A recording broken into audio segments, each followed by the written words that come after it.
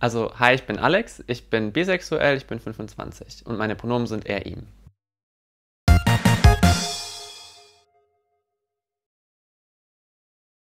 Hast du schon mal Diskriminierungserfahrungen gemacht?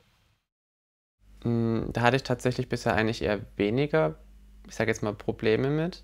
Also eher so, wenn man online so swiped auf Tinder und dann halt so drin steht, keine Bisexuellen. Passiert selten, aber passiert, weil manche Leute einfach Vorteile haben, so, die sind nur greedy, die können nicht treu sein oder sowas.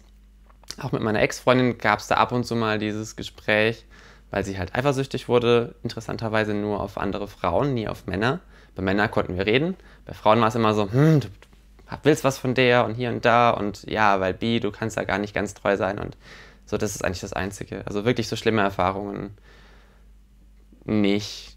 Also gegen mich persönlich, ich war halt während der Schulzeit nicht geoutet, da gab es halt immer so dieses typische Gerede, so dass es auch Beleidigung war, wenn jemand als schwul bezeichnet wurde und aber ich war irgendwie nie davon betroffen, sondern nur Leute um mich rum. Welchen Tipp würdest du deinem jüngeren Ich geben? Uh, wahrscheinlich einfach früher ich selbst zu sein. Ich habe das sehr langsam angehen lassen mit so mh, auch mich so zu kleiden, wie ich mich kleiden möchte. Oder zum Beispiel jetzt, ich hatte eine Zeit lang immer die Nägel lackiert, ich trage gerne Make-up, ich habe ab und zu zum Feiern High Heels an, wenn sie gerade nicht kaputt sind. Und früher habe ich mich das einfach auch nicht getraut, so vom Umfeld her. Mittlerweile ist mir das komplett egal. Und eigentlich hätte ich da schon viel früher mit anfangen sollen, weil es fühlt sich einfach besser an, wenn man nicht versteckt, wie man sich fühlt.